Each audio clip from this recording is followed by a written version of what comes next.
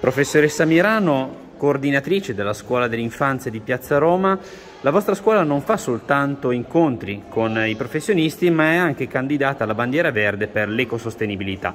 Di che cosa si tratta e come si è svolto questo progetto, come si sta svolgendo? Allora, questo progetto si svolge grazie al comune di Imperia che ci ha sostenuto in questa, in questa avventura. Siamo candidati alla bandiera verde, in questo plesso si insegna ai bambini al, il, a riusare, a riciclare, quindi a sostenere l'ambiente. Uh, un argomento mh, che interessa tantissimo sia i genitori che i bambini.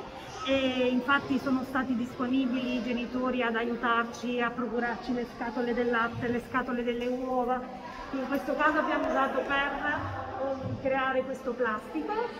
E niente, a scuola i bambini riciclano, riciclano la carta, riciclano la plastica, quindi sanno, sanno e comunicano anche ai genitori di come vanno trattati i rifiuti e di questo siamo contentissimi, anche perché dalla tenera, fin dalla tenera età che i bambini devono imparare um, queste regole che servono appunto per far sì che il nostro pianeta sia più pulito.